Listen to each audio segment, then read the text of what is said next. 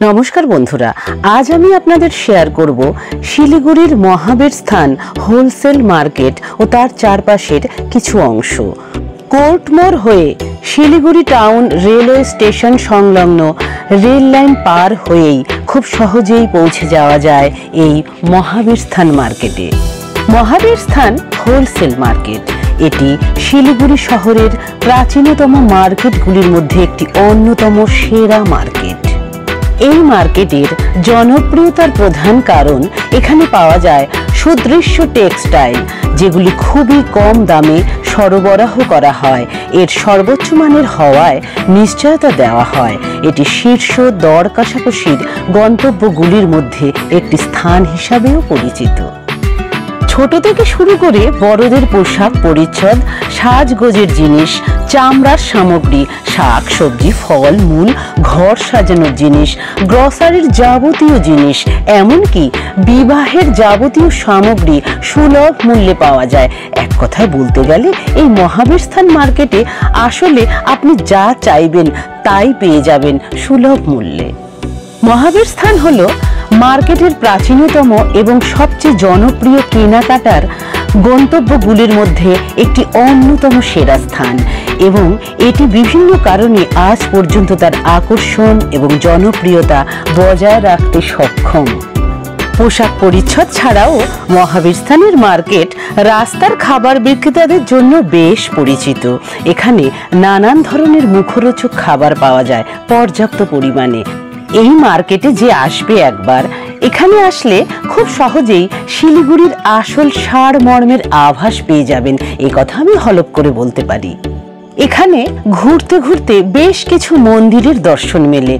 লোকনাথ বাবার মন্দির, শনিদেবের মন্দির, ভোলানাথের মন্দির, কালী মায়ের মন্দির, রাম সীতার মন্দির, আর আছে মহাবীর মন্দির, যার দর্শন এই মার্কেটে আসার আকর্ষণকে আরও বেশি করে বাড়িয়ে দেয়।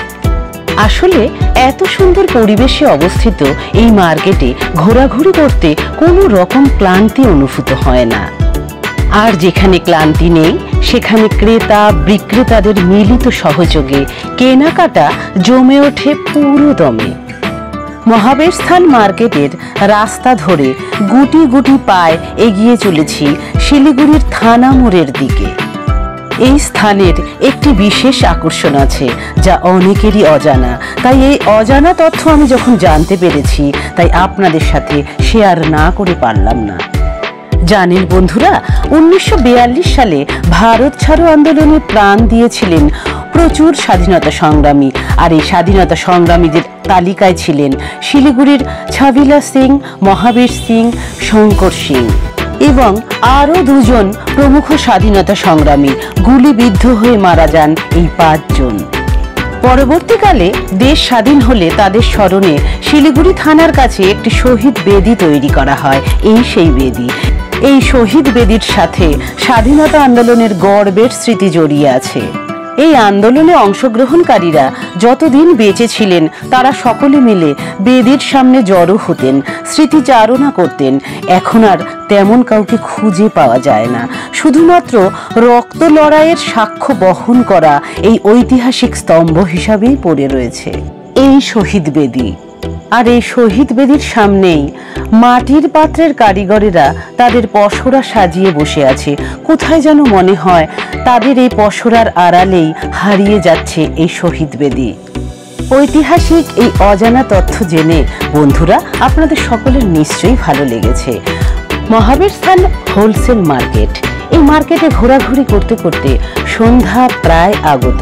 তাই এখন ঘরে ফেরার পালা। আজকের ভিডিওটি কেমন লাগল অবশ্যই জানাবেন। আর যারা শিলিগুড়ির কাছাকাছি এলাকায় থাকেন, তারা তো এই স্থানে বারবার এসে থাকেন। আর যারা দূরের বন্ধুরা আছেন, আপনারা ঠিক করছেন যে উত্তরবঙ্গ সফরে আসবেন। তাহলে অবশ্যই শিলিগুড়ির এই মহাবীর স্থান হোলসেল মার্কেটে একবার ঘুরে দেখবেন।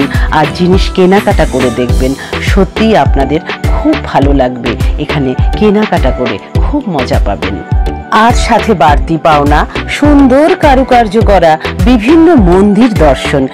আজকের মতো বিদায় নিচ্ছি বন্ধুরা। আগামীতে ফিরে আসব নতুন কোনো ভিডিও নিয়ে।